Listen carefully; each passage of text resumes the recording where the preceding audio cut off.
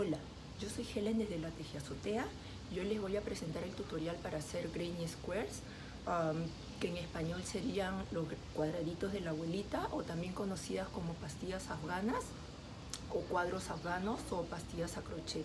Con, esto, con estos uh, Granny Square podemos realizar trabajos como este, son bastante versátiles, como jerseys, luego también podemos realizar unas mantitas para niños o para ver televisión como estas. Acá he hecho otra. Y todo con, la misma base del Granny Square. Espero disfruten este tutorial. Para comenzar, aquí les dejo unos gráficos de cómo se ven los Granny Squares o cuadros afganos o pastillas a crochet. Y aquí también les voy a dejar unos gráficos que los pueden usar como patrón para seguir los pasos que les voy a demostrar a continuación. Para este tutorial vamos a necesitar lana de distintos colores, puede ser muy bien lo que nos sobró de otros trabajos para hacer las diferentes filas y alternarlas ah, con diferentes colores. Luego crochet, ustedes eligen el tamaño de crochet que van a usar dependiendo de qué grosor de lana van a usar. Y luego también aguja lanera, dependiendo de qué grosor de lana van a usar nuevamente y un cortador o tijera.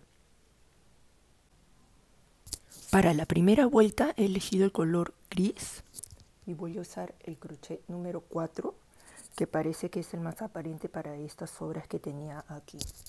Entonces, empezamos con un anillo deslizado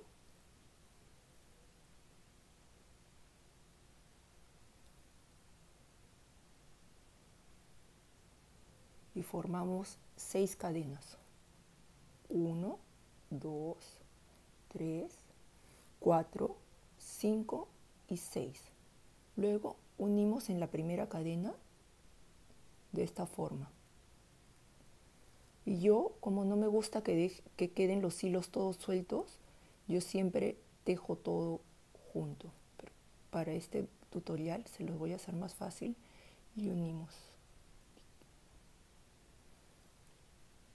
Una vez que tenemos el anillo, ahora sí escondo los hilos y hacemos tres cadenas para elevar el trabajo y formar la primera vareta. Y hacemos la primera vareta, que son estos tres, estas tres cadenas, segunda vareta y tercera vareta. Para la esquina hacemos dos cadenas y luego hacemos el otro grupo de tres de varetas. Uno, dos y tres. Ahí hay una esquina, ¿ven?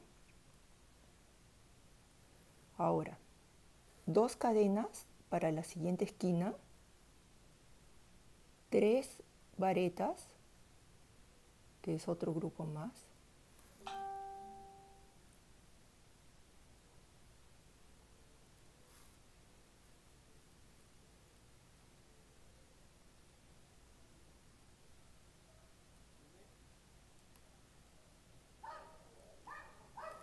Dos cadenas para la siguiente esquina y ahí ya se puede ver que está medio cuadrado ya.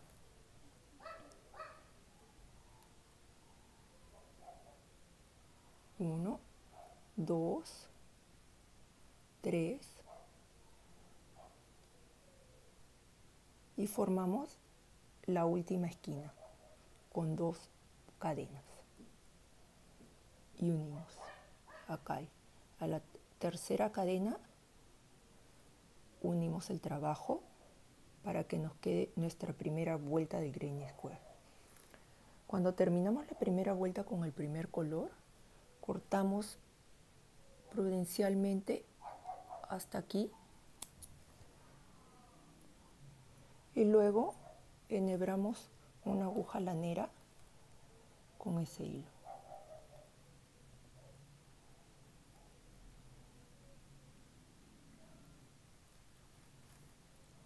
Ahora, en esta cadena de acá vamos a unir no en esta, sino en la siguiente, insertamos aquí la aguja y la pasamos por el punto que vamos a cerrar.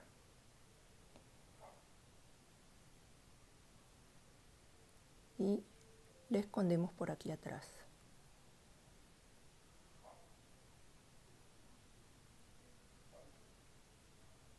Y luego escondemos todo este hilo o hebra por detrás para que el trabajo quede súper limpio y no queden tantos hilos sueltos. En realidad no importa que haya un patrón de cómo escondemos el hilo, la cosa es que lo, pasemos así como lo estoy haciendo para que no queden puros hilos sueltos y el trabajo se vea ah, con un acabado feo. Y ahí, ahí creo que es suficiente y le volvemos a cortar este hilito. No se va a notar cuando terminemos el trabajo y ahí está. La primera vuelta que está súper perfecta aún así sea una miniatura, se ve que tiene bastante forma. Y vamos a seguir con la segunda vuelta. Ahora, para la segunda vuelta yo elegí el color blanco para que contraste con el gris. Y voy a empezar, no voy a empezar desde el último, el, último punto que, que cerré aquí porque se va a notar de dónde hemos estado uniendo las hebras. Entonces voy a elegir empezar desde por acá, por ejemplo, para de una forma disimular las uniones. Empezamos. Una, dos, tres cadenas para hacer la primera vareta y según con lo que tenemos en el patrón vamos a hacer una cadena para separar los dos grupos y hacemos una, dos,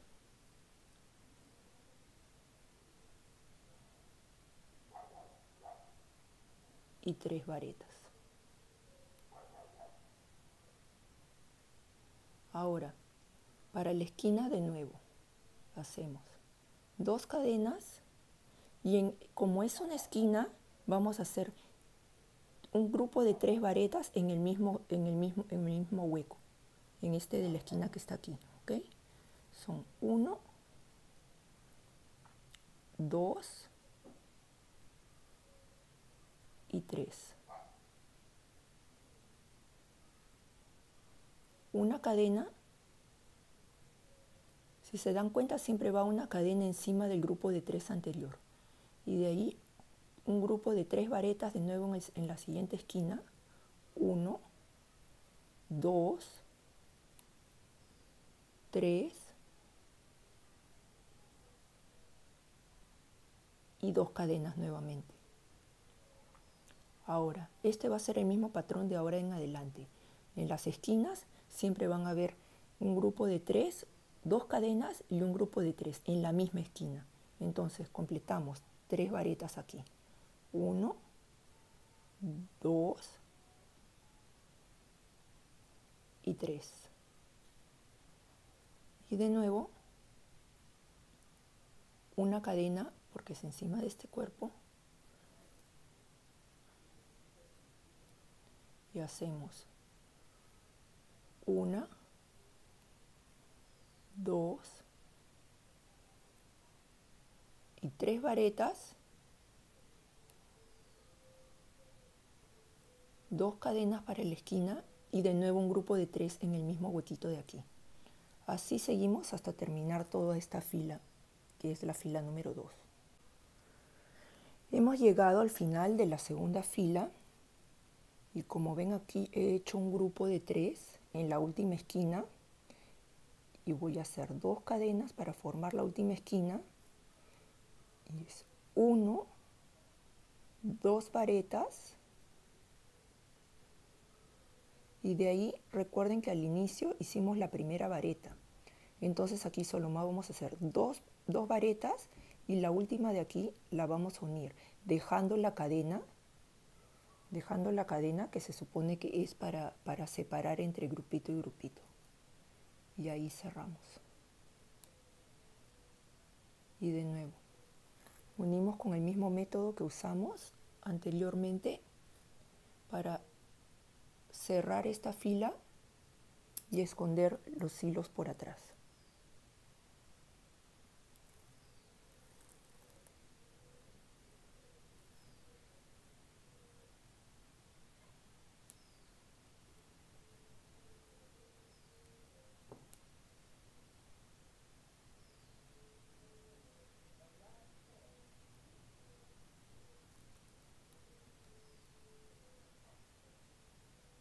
Hay personas que dejan todos los hilos sueltos y, y los esconden al final, pero en mi caso eh, se me hace mucho más eh, fácil o organizado en todo caso hacerlo de esta manera porque el trabajo siempre está, siempre está ordenado y limpio. Y de esta forma no se me olvida para nada de, esconder algún punto ni, ni, ni estar preocupándome de esas cosas al final entonces. Ahí terminamos la segunda vuelta y voy a, a ver, les enseño. Ven que está ahí perfecta. Voy a seguir con este tono de crema o marrón para que le haga contraste. Ahora, lo pueden hacer todo un solo color también, pero este, mm, en este tutorial les quería, lo que les quería demostrar era que no es necesario que sea una, un cuadrado o un grain square ah, especial con flores especiales, sino que con este mismo básico podemos hacer diferentes prendas y se ve igual de lindo solamente cambiando los colores. Entonces, vamos a hacer la tercera fila y empezamos desde un punto por aquí, por ejemplo, y hacemos tres cadenas para empezar el primer punto.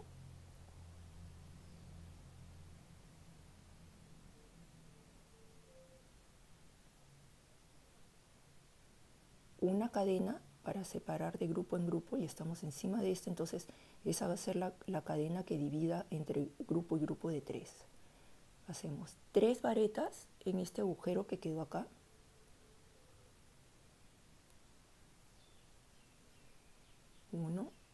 2, 3. De ahí. De nuevo, le sigue una cadena y llegamos a una esquina. Entonces le hacemos las tres varetas para formar el primer grupo.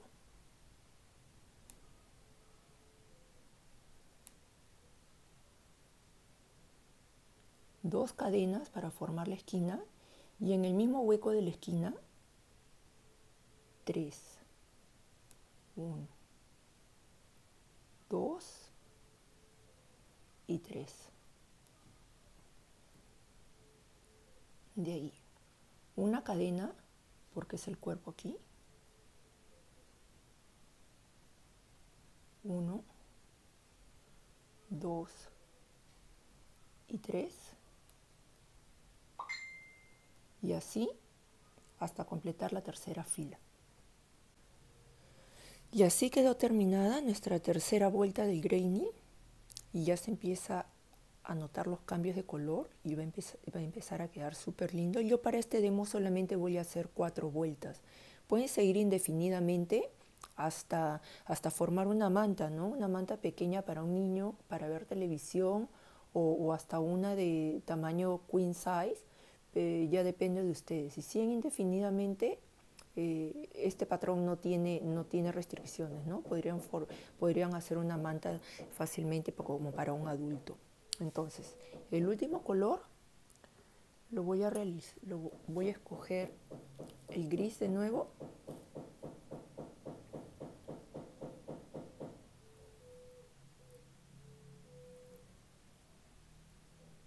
Y voy a empezar de esta esquina.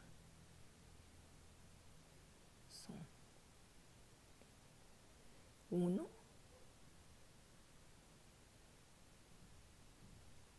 2,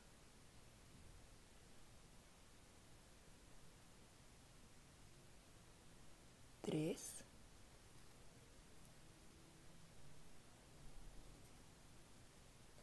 1 cadena de separación para empezar el siguiente grupo.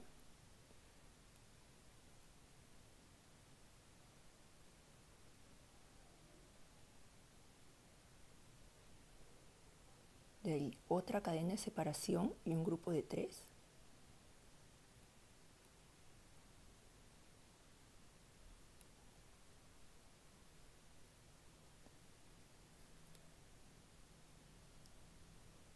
Y ahora cuando hemos llegado a la esquina, recuerden que siempre las esquinas son un grupito de tres varetas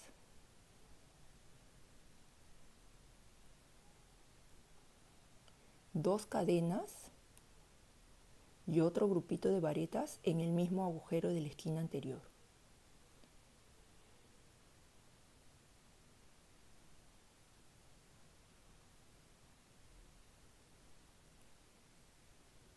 Y en las subsiguientes seguimos la misma secuencia de una cadena y tres varetas en el siguiente agujero y así de nuevo hasta que terminemos toda la fila número 4. Y así hemos terminado la cuarta vuelta de nuestro granny square o cuadrado afgano o pastilla crochet como quieran llamarle. Este es esta es la versión clásica que es la que más me gusta en realidad. Yo siempre regreso a esta versión porque es la más es la más fácil, la más versátil, con la que se puede hacer más cosas y, es la más linda. También he hecho otros, otros tipos de pastillas como este o también como este de acá. Esta manta la hice con diferentes pastillas afganas también, pero yo siempre regreso, ¿ven? Pero esas son pastillas más complicadas y a las finales este, siempre vuelvo a la clásica, al clásico Grain Square, que es el que más abriga, no sofoca y, el que siempre queda cuadradito y, listo para unir a otros puntos. ¿no? Ahora, uno puede, uno puede seguir indefinidamente hasta hacer una manta como esta, que es un solo cuadrado. Lo pueden ver ahí, es un cuadrado que lo he seguido y seguido y seguido hasta formar una manta.